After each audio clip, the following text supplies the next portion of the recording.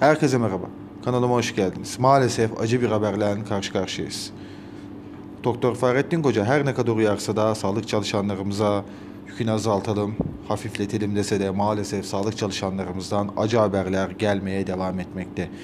Vefat sayılarının, hasta sayılarının arttığı dönemde acı haberler özellikle sağlık çalışanlarından ciddi derecede geliyor. Gene bir sağlık çalışanından acı haber geldi. İstanbul Tıp Fakültesinden emekli öğretim üyesi hematoloji uzmanı Profesör Doktor Melih Aktan'ı COVID-19 nedeniyle kaybettik açıklaması geldi. Türk Tabipler Birliği tarafından yapılan açıklamaya göre ailesine ve tüm sağlık camiasına başsağlığı dileklerimizi iletiyoruz dedi Tabipler Birliği. Biz de buradan Profesör Doktor Melih Aktan'a Allah'tan gani gani rahmet, sevenlerine ve yakınlarına başsağlığı dileklerimizi iletiyoruz.